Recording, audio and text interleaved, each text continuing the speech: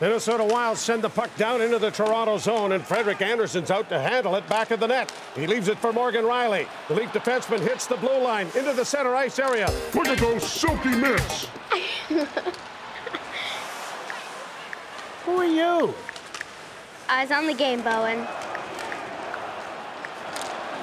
Rielly gets it over to Kadri. Kadri looking for Patrick Marleau in front of the net. He's got it. He shoots. He scores. He's got it. He shoots. He scores. He scores. Go, go, scores.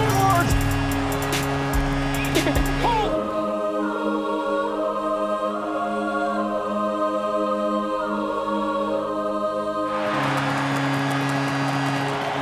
bet you think you're really smart, don't you?